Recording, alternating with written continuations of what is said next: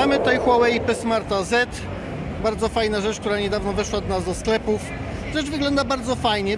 Pamiętacie, to jest taki średniaczek z z Kirinem 710, z 4 GB RAMu, 64 w pamięci flash, z aparacikiem 16 megapikseli w y, przednim wysuwanym. O, może Adam może pokażemy- pokaże jak wygląda Właśnie, wysuwany aparat. przedni aparat, bo to jest O. ciekawostka. O, tak fajnie wygląda. To, O. to jesteśmy my. O, Cześć! to jesteśmy my i jest aparacik wysuwany. No jest taki bajerek. Rzecz, rzecz jest rzeczywiście bardzo fajna. To jest 6,6 cala, rozdzielczość Full HD. Yy, Kirin 710, tak jak mówiłem. Z tyłu, z tyłu. z tyłu są dwa aparaciki. Jest czytnik odcisku palca klasyczny. W przypadku Huawei nie w ekranie. Także największą atrakcją jest chyba rzeczywiście ten wysuwany, Tak, wysuwany aparat. Warto też aparat. zwrócić uwagę na e, ciekawy wzór na tyle telefonu. Tak mi się trochę z pikselami kojarzy.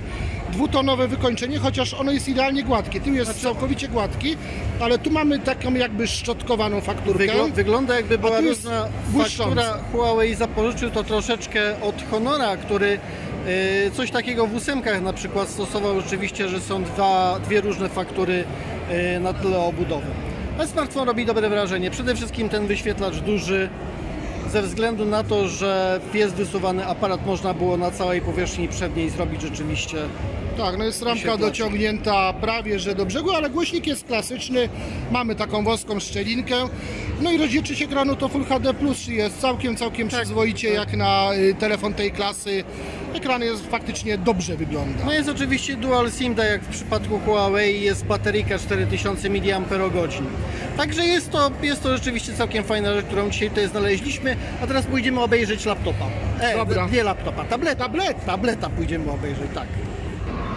Huawei pokazuje na targach w Warszawie również tablet, o którym wspomnieliśmy. Jest to MediaPad y, M5 Lite.